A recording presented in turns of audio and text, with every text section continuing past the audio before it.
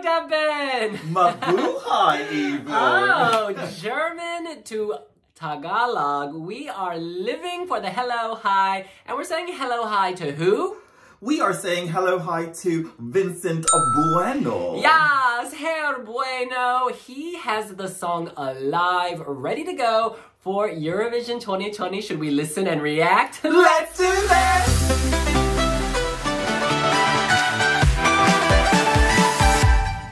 Right, my Asian brother. I'm ready to listen. Earpods are on. All right, hitting play. Ooh, where's he going? Where's he going? Right. Okay. Ooh, Vincent drama. Alive. Come alive. Shackled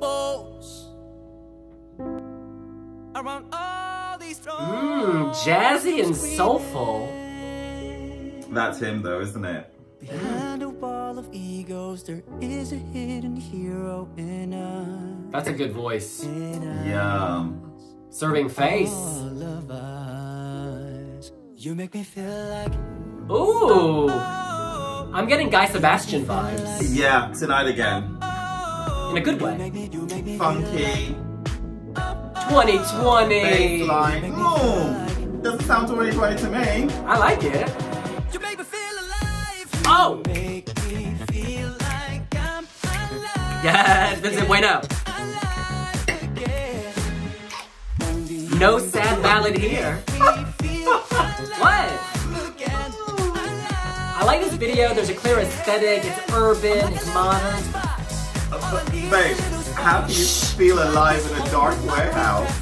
The rhythm, the flow. He can move as well. He can move. I This is good. I'm sorry. This is nice diversity for the contest. The big D. He can perform, Deban. Yes. Do you see those feet? Fancy footwork. Oh. This is well done. There's a massive juxtaposition of the visuals to the lyrics. I, I don't I don't get the flow. Oh, I like it. He's going for modern urban gritty. Stay there. Oh yes, that desk slays. You could hear this at the gym. You could hear this on the radio. You could hear this on Spotify. 15 years ago, you would have been bopping to it as well. There's a revival though, Deban. Disco, funk, soul, it's being revived. He's like a little matchbox.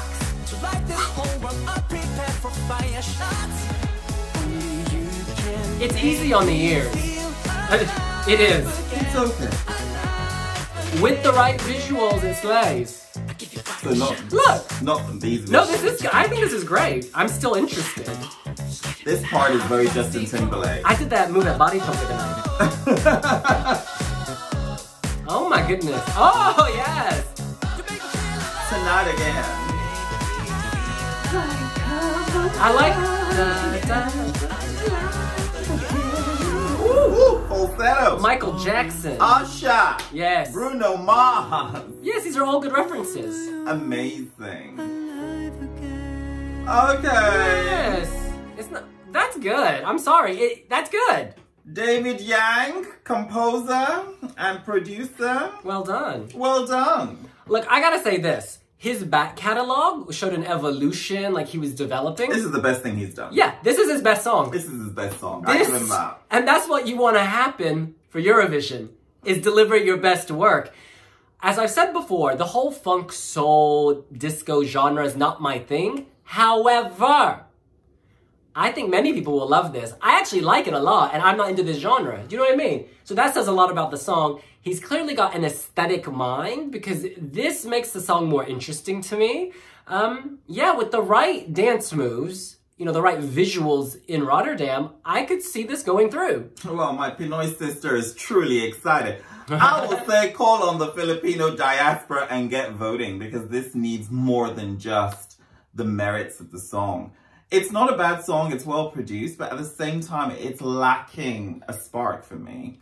It's just Compared to the other songs It's year. so pedestrian. I'm sorry. Is it you make me feel like I'm alive? Okay, you're gonna say I remember it, but well, yeah, you do remember yeah, it. So there's a bit of an just- earworm. I just, I just feel like it's just not bringing any magical dust. But It's just not special. Yeah, but I. But what is it though? It is an I mean- earworm. It gets under mm. your skin. It makes you move. You were referencing Bruno Mars. You were referencing Guy Sebastian. You were referencing all these great Justin Usher, Timberlake. Justin Usher. Timberlake, a bit of K-pop as well. But at the same Yeah. time, you know, you can reference all these people and still be a pastiche of what is great. I don't, you know what? The fact is, I don't care if someone sounds like someone else. What I care about is whether it makes me feel alive.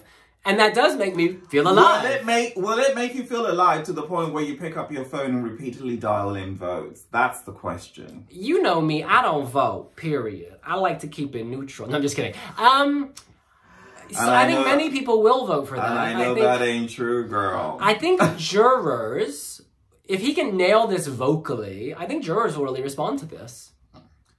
I don't know. I think it's It's a- hard to hit, hit that while moving, though, I must say. I think it's good. I think it, you, know a bit like Zibbz who performed Stones, where it is a video you can always be proud of, but at the same time it didn't move into Saturday's show. It came very close, though. But it is something you'd look at and say, oh my god, this is really decent, this is respectful. And you know what? Props to that, because I think Eurovision really now, it's not even about songs that don't make the cut. It shouldn't always be bad songs. There should be good songs among the mix because it elevates the contest as a whole. But my question is, is do you think this could make the final with the right I staging? think it's borderline at best. I don't see this as, you know, I don't see this as a surefire. Um, I mean, putting Conchita to the side, Austria has typically been kind of a borderline qualifier at best. I just think this is really. I think it's so ordinary, but at the same time, it's good ordinary. You know. What's interesting to me is this year you've hated all the songs, basically, for the most part. Jesus Christ of Nazareth. For the most you part. when I reacted to Malta. I said for the most part, not everything. And the point is, you haven't shaded this as much as other songs, so I think that's a good sign for Austria. Because your bar has been so high this year, and everything except for, you know, maybe Destiny Chukwunyere has missed that bar for you, and Moldova. So basically, you like Moldova, and you like Malta. you know what I love about you, William? I keep it honest. I no, keep no, it no, real. no, not that. I have fact, a memory. that is what I don't like. What I do like about you is that your your journalistic style keeps evolving. Previously, this is the first year that I remember really where I have been banned from listening to any of the songs so we could have a first reaction. yes. So previously, you know, we used to do it differently where, um, you know, we would have listened to everything and then come Wiwi Jury, we then unpack what we feel. Right. Well, you know what? I think it's a good idea you've done that because these first reactions have been truly honest and I've just got to keep it real. Yeah, but you're more alive than you normally are. So that's why I think this reality is a good thing for Austria. Look, closing thoughts. Make me feel like I'm alive again. I think this type of music, while it does reference other artists and while it does sound throwback, that's what's trendy right now. This kind of stuff is what's trendy. My sister is gonna love this because she loves this type of Well, music. Well, she was already hashtagging Vincent Bueno. Look at Senhit, Freaky. That song is very disco throwback, and you love it. Uh, well, Luca Tomassini may have had a little bit of a hand in that. again the visual so let's think about this we're gonna have to wait for the visual but i think this video shows like an ambition and kind of an aesthetic awareness vincent looks great in this he's well styled and i think the He group dances amazing. I mean, he's Yeah. really, he's really, he's got quite a lot of um. Multi-talented. Yeah, but you know what? Filipinos have to work harder than they did for Bella Santiago. They really need to pick up the phone and they need to vote because this, to me, Mm. sits at the border. well that's what we think. What do you think? Do you think austria and vincent bueno can advance to the grand final of the eurovision song contest? Do you think this is a borderline qualifier or with the right staging? Could this be somewhere near the top? Let us know here on wiwibloggs. Vincent Bueno once said, troubleshooting is my personal motto. you better troubleshoot. And we will see you later. Bye!